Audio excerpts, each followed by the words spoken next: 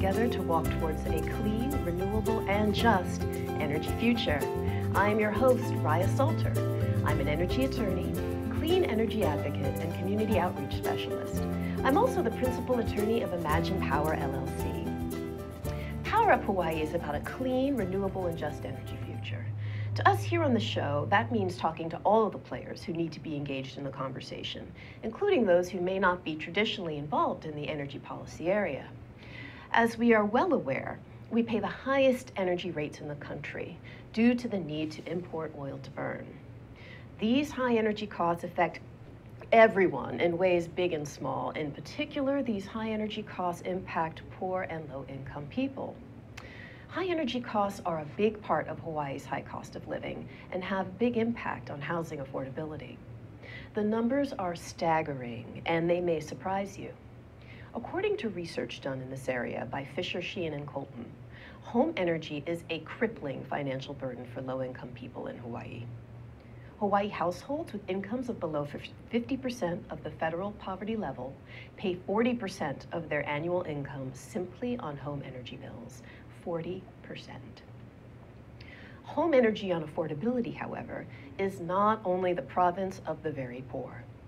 Those with incomes between 150 and 185% of poverty level take up 10% of income on energy.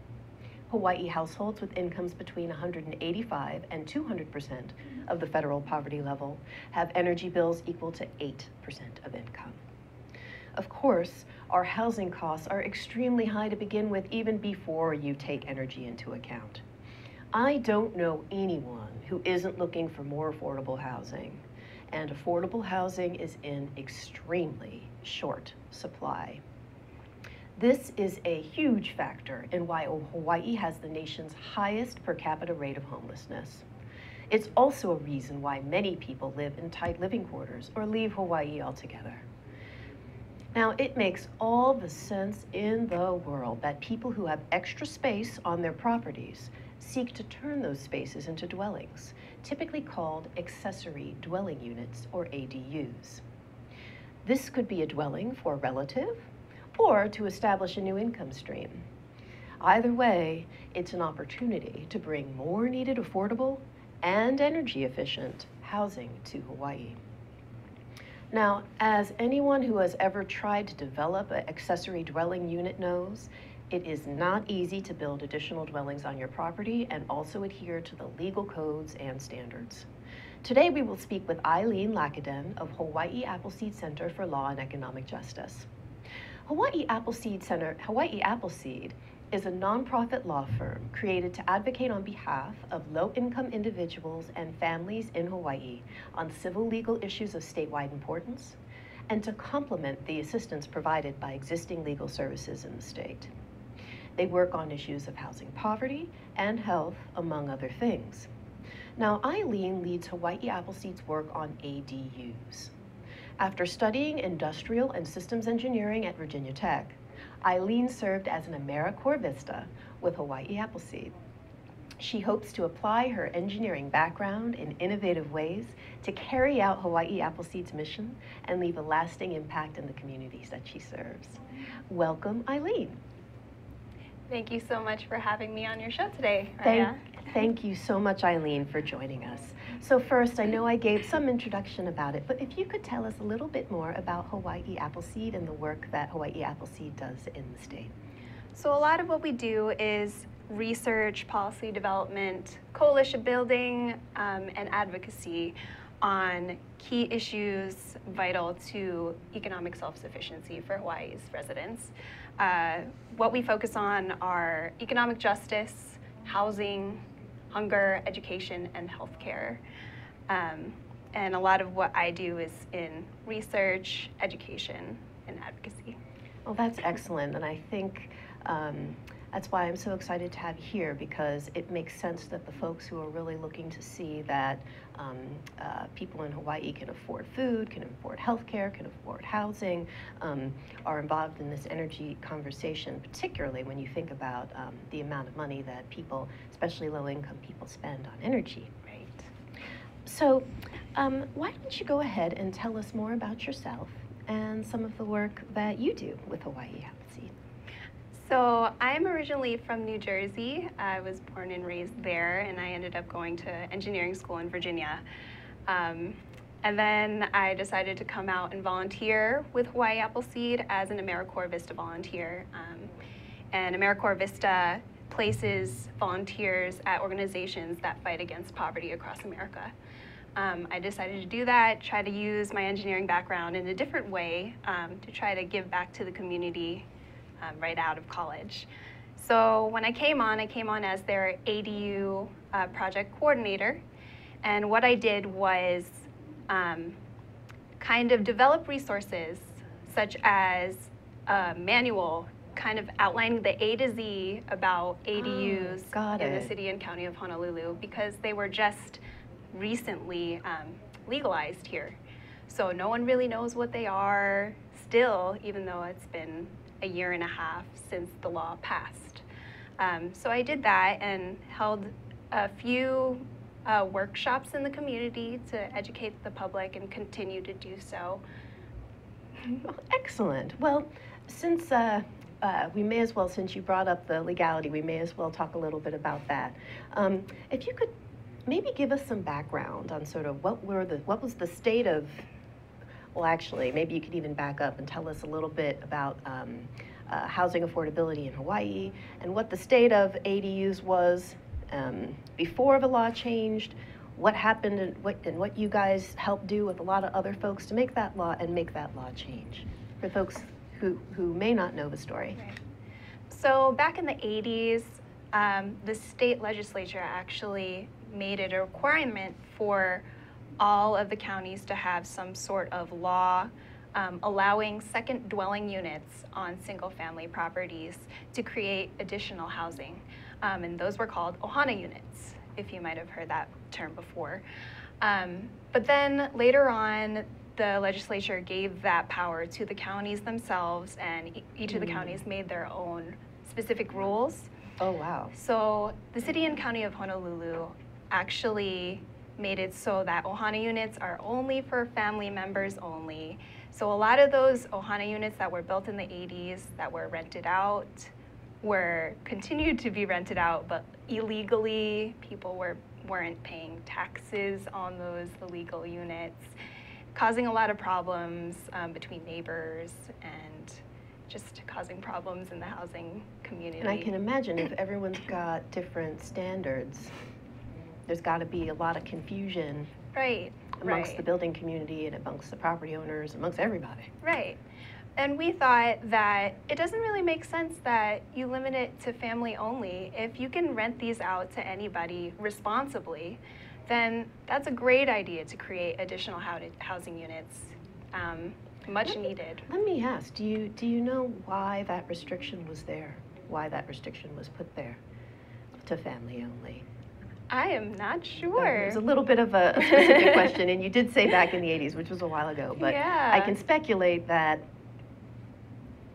various powers that be um, wanted to ease up, ease up the restrictions and, and enable folks to, ha- to have more people live on these properties legally, but didn't want to create a cottage industry and rental. Yeah, right. It's, it involves actually enforcing those rules if you have to put rules in, so they just didn't allow it, I guess. Hmm. But now they have changed their minds in recent years. Um, back in 2013, we released a report um, showing innovative ways to create additional housing units, which included accessory dwelling units um, and micro units, which existed here on Oahu before, but they kind of all got phased out. Mm. And now we're trying to bring them back because those are ways we can easily create more housing units in the limited space that we have. That's exactly right. So tell us a bit more about, um, so they, when you say they changed their mind, it was like it was a family only, and then was, uh, tell us a little bit about this, the newer ADU law. Was that 2014 or 2015? Tell me a little about it. I'm not. Um, so after we released our report in 2013, we released a policy brief specific to accessory dwelling units, um, 2014, 2015. um, worked with the local city government officials and the local construction industry to kind of put together a bill, um, Bill 20, which passed in September of 2015 Got it. um, with much support from the mayor and uh, the city council. Fantastic. Tell us about this Bill 20 and, and, and, and what its provisions were and the changes that it made. So it allowed Ohana units, it changed the Ohana uh, unit bill um, to include uh, detached units because Ohana units were Ah. al- also required before to be attached to a single family house. But now it required them Oh, to yeah, be that doesn't detached. Sound so fantastic. Yeah, and give people more options. Yeah. In addition to that, um, it created, um, it legalized ADUs. So now people can build actual rental units, attached or detached, um, on their properties. So they're limited in size, of course, but it, they are just like any apartment you would rent, um, but even nicer because you're in a single family neighborhood, in a single family home, pretty much. So go ahead and let's dig in and talk a little bit about these ADUs because I think they're they're pretty exciting because you know there's this opportunity now if you can build this um, you know standalone uh, unit on your property to do something that's kind of neat and cool. yeah. and you wrote the manual, so go ahead and tell us a bit about these ADUs. Um, so for the city and county of Honolulu, they're limited in size to 400 square feet if your lot is under 5,000 square feet in size, and then up to 800 square feet if your lot is over 5,000 square feet.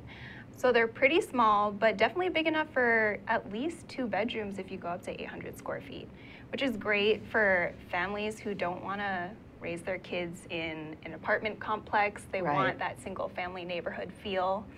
Um, and it's definitely good for homeowners here. It doesn't require any government subsidy. Right, because people are looking to do this. Right, yeah. Everyone's looking to do this. Right. It's such a great opportunity to invest in your property and build up your property's value um, by creating a rental unit. Um, and they can be really, really nice. They can be as simple as you want it to be. Uh, it could be attached, detached. It could be a garage conversion or a carport conversion. It could be your basement. Um, there's so many different options you could take. And uh, who might typically um, who might typically live in this type of unit? This could be a family member. It could be somebody renting. It could be anyone. Yeah. Right, right. So traditionally, people will rent it to family or just anyone, you know, using the traditional models like Craigslist or, you know, Apartment Finder. Um, but there are a lot of students who are looking for housing in good neighborhoods. Um, and a lot of people are looking to age in place and stay Yes, in their of course. That's exactly correct. Um, so they want to either move into their ADU and rent out their big house if their kids have moved out and it's just them on their own, or rent it to a caretaker um, if they need extra help at home to live with them. Well, we are about to go to a short break, and then we will be back with um, Eileen Lacaden from Hawaii Appleseed talking about accessory dwelling units. Hello, this is Martin Despang. I want to get you get excited about my new show, which is Humane Architecture for Hawaii and Beyond. We're going to broadcast on Tuesdays, 5 p.m. here on uh, Think Tech Hawaii. Hi, this is uh, Jane Sugimura. I'm the co-host for Condo Insider, and we're on Think Tech Hawaii every Thursday at 3 o'clock. And we're here to talk about uh, condominium living and uh, issues that affect condominium residents and owners. And I hope you'll join us every week on Thursday. Aloha! Aloha, I'm Carl Campagna, host of Think Tech Hawaii's Movers, Shakers, and Reformers. I hope you join us over the next several weeks as we take a deep dive into biofuels in Hawaii and explore the alternative fuels supply chain necessary for the local and global transition towards transportation fuel sustainability. Join us as we have good conversations with our farmers, our producers, our conversion technologies, our investors, and our legislators as we try to achieve our transportation sustainability goals. See you soon. Hello, and welcome back to Power Up Hawaii. I'm your host, Raya Salter. We're here today talking with Eileen Lacaden from Hawaii, uh, Hawaii Appleseed. Um, and we're talking about accessory dwelling unit, units, housing affordability, and also we'll talk a bit about energy efficiency. So thank you again so much for being here, Eileen.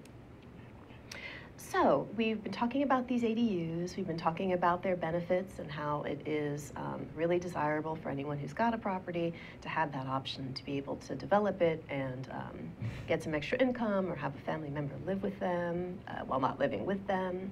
But what are some of the drawbacks and some of the pushback um, that has uh, come for um, against these ADUs, and, and from what corners does this opposition come from? Some people have complained that it'll overcrowd neighborhoods that are already overcrowded. But the thing is, some of these neighborhoods can't actually take on additional housing units. So wherever a neighborhood is, is too cramped, they're not going to be allowed. Um, but it, it's kind of necessary for us to, to utilize some of these underutilized spaces in our urban neighborhoods um, and create additional dwelling units if people are willing to do it. Um, I think other drawbacks are the initial financial investment. Right. Construction is the most expensive in the country here. Um, so that's the thing, people need to actually have the money up front to do it. Um, ADUs can cost from maybe 20,000 to 60,000 just for the Mm. supplies alone. So- Wow. So it could be two to three times that, including the labor. That's, that's a tremendous cost. Right. Well, we're talking about the cost of housing, um, I, uh, or the cost of, and, and the designs of these units. Um, A, I know that you guys have worked with various folks, architects and others in the building community to really work on some cool stuff for ADUs. Could you tell us a, a little bit about that? Um, we did have one architect, Architects Hawaii, who developed a um, model for us um, to provide free to the public um, to show actually how cool an ADU could be um, for a model designed specifically for a property in Hawaii. Um, and how cool it could look on the yard, um, how energy efficient it could be designed. Um, they came up with a really awesome uh, model for us for a single person. It has everything you need. It's an efficiency. Um, bed rolls down. Uh, tiny micro kitchen, but it has a lot of outdoor space. It has a lanai, good airflow, um, energy efficient appliances and everything. Um, so you can live in a very Oh, comfortable yeah, space. we've got some pictures. It looks, you know, and, and there's so many different. This looks like sort of a very, like a really kind of traditional, almost sort of like log cabin style Yeah. um, of house that who you know that is extremely attractive. Um, yeah, and takes advantage of all that outdoor space.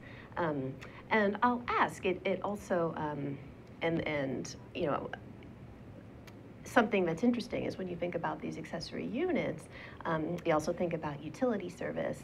Right. Um, and electricity and you know the energy and we talked about the energy costs so i would think that there's probably a lot of potential not only for they to be, to be energy efficient but to utilize solar um, or other Definitely. components or there's the potential for that is that correct Yeah, absolutely. Uh, especially with all those um, PV battery systems coming out, it'll be so easy to power the entire ADU on a PV battery system alone because it's such a small unit. Um, solar water heater, it can take everything a normal single family home can take on. And that is so interesting because now I think, you know, it, uh, energy efficiency and renewable energy are probably, can potentially anyway, be a big part of that investment decision when you're thinking about the energy costs. Because I, I don't know, I think I thought, you know, I've, um, you know, many of us have the dream of, of living in Hawaii in a small sort of, you know, simple ADU type space somewhere. Right. And you know, we've all looked at those, um, you know, those kits you can buy for like eight or nine thousand dollars and get some cool like bamboo temple type living space or whatever. And and um, you know, I'm hearing now with these, we're, we're talking about much larger investment, um, uh, and it's it would it it would seem And actually, I won't, I won't ask you directly about this because it may or may not, or it may or may not be your province. But then, if you're not going to have it be off the grid, then you're going to have to um, talk to the utility company about extending the main and extending service out to that ADU. Is that something that you're familiar with? I, I, it may not be your area. Um, I know that people have the option, people come to me all the time asking, do I have to have a separate utility or do I not? Can I include it with the house? How do I bill it separately? But you have the option. It's actually up to the homeowner on what you want to do with all the utilities. Um, That is so interesting. Um, I'd be interested to know what the experience of a, you know, someone put doing an ADU has had Right. with um, with the utility and making those decisions. Um, maybe we can do an, uh, maybe we can do another show on that. um, so, um, yeah, we talked about the, the ADUs. We talked about the opportunities. Is is there a place on the island where some of these new, cool, innovative designs are uh, or ADUs are sort of popping up? Um, from what I've heard from the city, only about a hundred maybe actual ADU permits have been given out, um, with at least more than eleven hundred uh, people applying initially with interest. Mm, Wow. Um, but I think big areas these are going up are probably Hawaii Kai, where people have a little bit more space. Um, and I know a lot of people on um, the windward side who are looking into getting prefab units done, uh, where they don't have to pay a lot for Right, labor. right, right. And I know when I, uh, uh, I used to work on, on the mainland for uh, uh, environmental organizations, and you know, prefabricated housing was a, a really big deal and a really important issue oh yeah. um, in terms of advocacy. It's um, it, it's not your, it's not our, you know, the previous generation's prefab housing. There's just some great stuff made with like all kinds of, you know, materials that can be reclaimed. Um, it does, it doesn't need to be sort of a, you know, something plastic. Um, actually, um, uh, perhaps now, your your background was is in also is in the built environment, yeah. um, little Or bit. no, more, more engineering, okay, Yeah. so I won't go ahead and ask you more built environment questions, but, um, so what are some of the reasons why, um, so many people showed interest and so few people were able to actually get permits? I think it's just the hesitation because it's such a new thing um, to Oahu that you know people want to see what other other people are doing first. Uh, they want to see what they look like. They want to see them in their neighborhoods, and they want to see them being success- successfully used um, and used in a responsible way. Right, Um, and I think there will be continued interest, and as people kind of realize and save up for that initial investment, because it is a huge initial investment, um, they will actually go through with a project.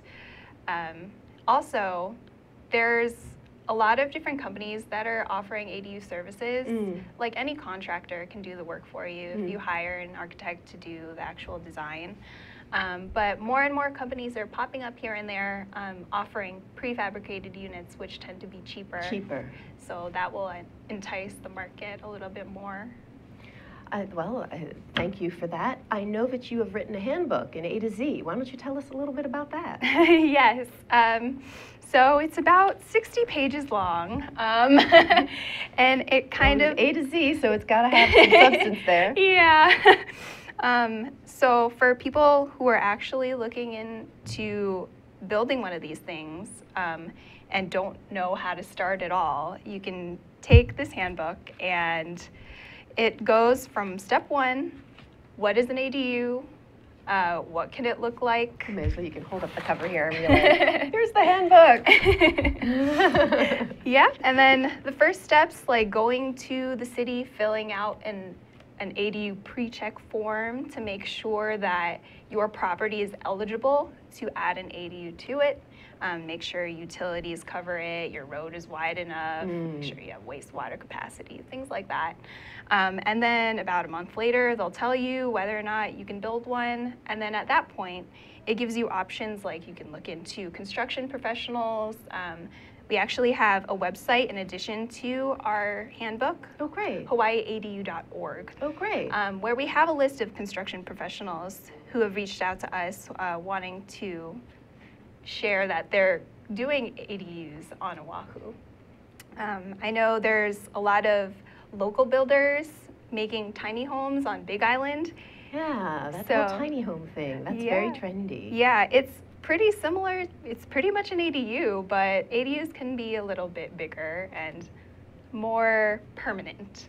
That's the only difference, really. Um, um, and we're seeing more and more companies added to our list as the months go by. I'm sure by next year it'll it'll double.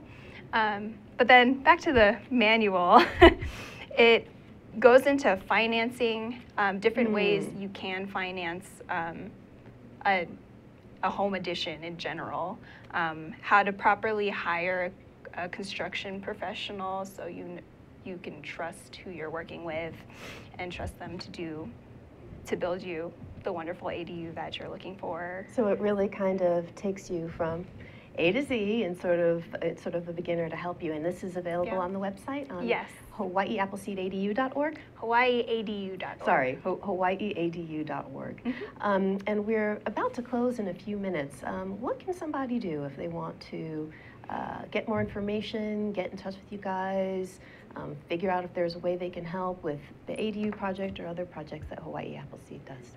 Well, I welcome anyone to contact me at Hawaii Appleseed. Um, you can email me, Eileen at hiappleseed.org, or come to our Hawaii ADU website where we have all our resources available. We even have, um, in addition to the website and this manual, we have three open source plans available on our website that you can use, you can take to an architect and kind of make it your own and uh, have it site specifically designed. Well, can I say, I, Yeah. I think this is tremendous, and I just also want to say it's such a contribution for a Vista volunteer, someone with a new- brand new engineering degree um, from Virginia Tech to decide to take basically a volunteer position to create these resources um, for uh, low-income folks in Hawaii and to help with housing affordability. I think it's just tremendous.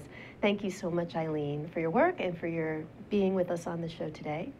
And that just about wraps up another edition of Power Up Hawaii. Um, aloha, mahalo, and see you next week, everybody.